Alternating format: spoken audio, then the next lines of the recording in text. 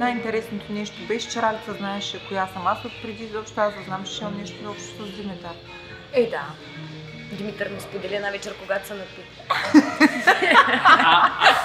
А след това Димитър беше на кораб Да, и аз празнувах рождения ден там, където работеше тя.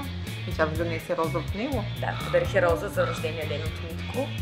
Ето. И тя беше доста развълнувана и щастлива. Но тогава дори не знаехме, че тя ще ми е бъдещата кома.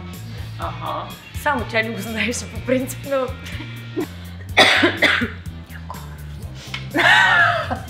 че аз през него бях взел отдавна, февруари месец. И бяхме на почивка в Велинград. Българския Дубай, да. На спа на всичко, обаче там не беше много подходящо, не знаех къде. Един ден просто схванахме колата и решихме да обикаляме нагоре из планините. Като я карах тук там да спираме, но все нещо не ми така, не ми се даваше отгоре, така да, да й предложа. И ние хубави изгледи пейзажи имаше. Правихме си снимки, пак в колата, пак нагоре. Докато ни стигнахме до един замръзнал язовир, Елмекен.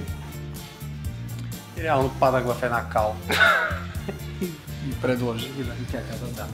Имаш така хубава гледка към замръзнал язовир. Общо взето. Не знам дали да, Да. само двамата бяхме. Ами не, просто ми падна релса от гърба тогава вече, разтоварена. Тя на два пъти щеше да го намери пръстена.